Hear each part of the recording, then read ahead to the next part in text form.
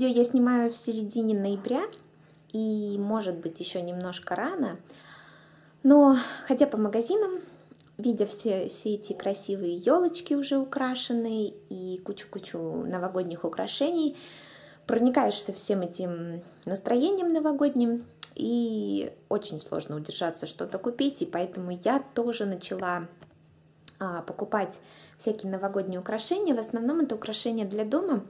И сегодня я хочу с вами поделиться моими покупками. Поэтому, если вам интересно, оставайтесь со мной.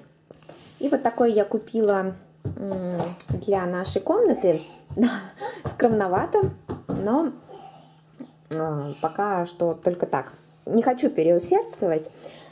А, значит, здесь у меня из разных магазинов украшения. Вот это вот я купила в Аби, такая фигурка оленя. А, стоила она, по-моему, рублей 300. Вот. Не-не-не, нельзя тебе трогать. Нельзя. Пока-пока. Ну, пока-пока. И вот эту вот елочку я сперва скептически относилась ко всем этим елочкам, но в принципе они очень симпатично смотрятся. Вот, и тоже ее прикупила. Это я уже купила в ленте. У них сейчас вообще очень смешные цены, на самом деле, на украшения. Вот это стоило, по-моему, 150, 140, где-то так рублей. Вот. В нашей комнате елка не будет стоять. Эм, мы ее решили установить детскую, она же игровая. В нашей комнате не так много места, ну и, в принципе, свободного угла тоже нету. Купила ее в прошлом году, но мы ее не устанавливали. У нас есть маленькая елочка, где-то сантиметров 60, наверное, она. Вот мы ей пользовались в том году. Большая елочка, но нам было некуда там устанавливать. У нас была очень маленькая однокомнатная квартира. А, вот. И, и в этом году я буду впервые ее... Ну, я, в принципе, она мне в том году очень понравилась.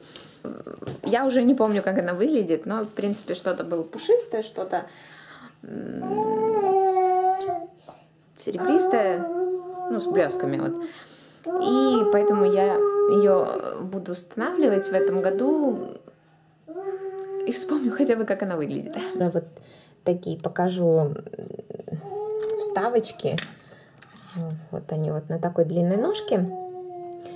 А, стоят вообще по-моему, рублей 70 или 50, тоже в ленте. Вот. Конечно, нужна какая-нибудь вазочка, я предполагал, что будет вазочка, но у меня пока нет лишней такой маленькой, поэтому так. Вот такого милого снеговика также в ленте, он даже звенит.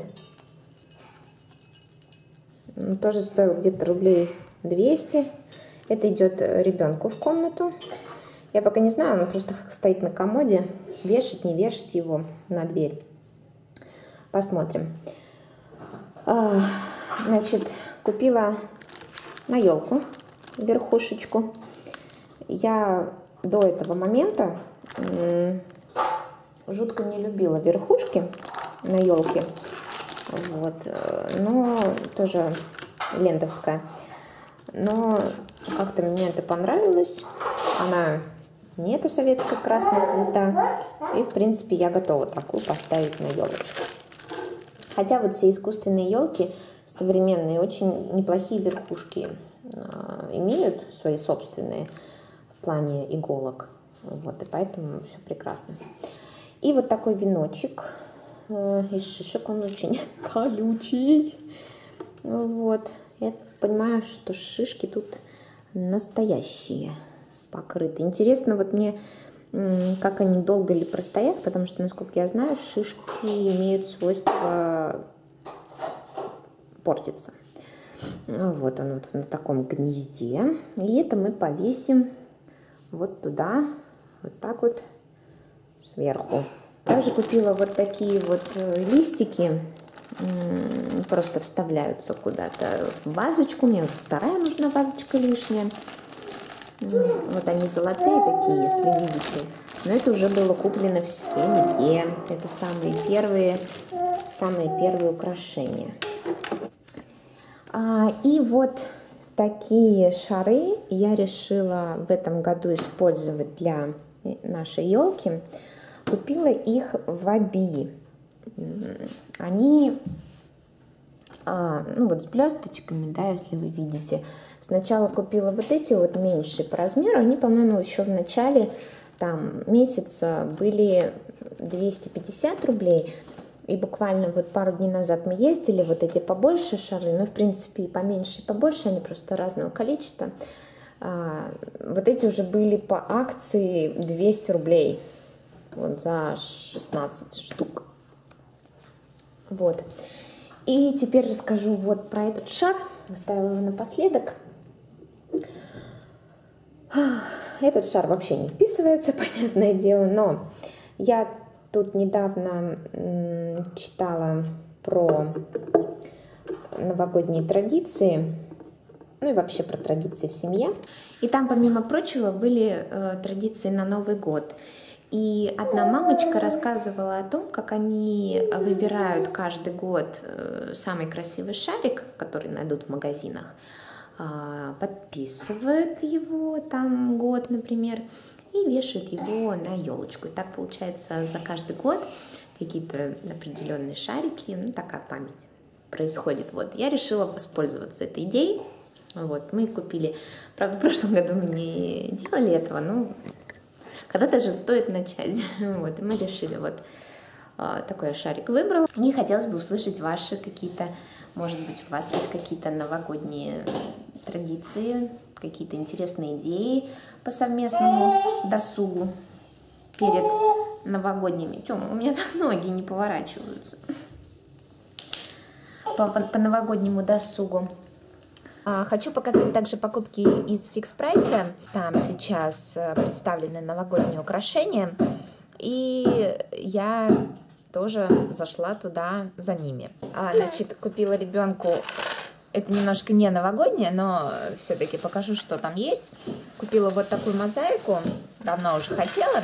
Вот она немножко маловата, естественно, от трех лет, но, в принципе, мы уже не берем ничего в рот, поэтому ему отлично. Правда, вот, видите, она стоит 77 рублей. Также э, в фикс прайсе купила вот такую баночку жестяную там разные есть варежки, елочки, тут уже что-то лежит детское. Не знаю пока для чего буду использовать, но такие баночки никогда не бывают лишними.